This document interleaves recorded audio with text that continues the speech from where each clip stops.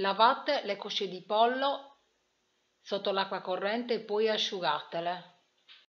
Mettete le cosce di pollo in una ciotola, salate,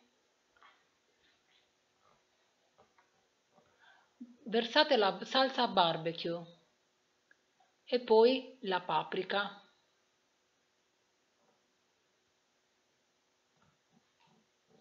Amalgamate bene con le mani.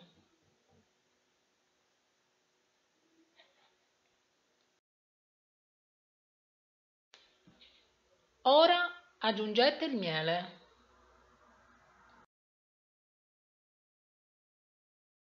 Coprite con la pellicola e lasciate riposare per circa 30 minuti. Mettete le coscette in una teglia rivestita da carta da forno.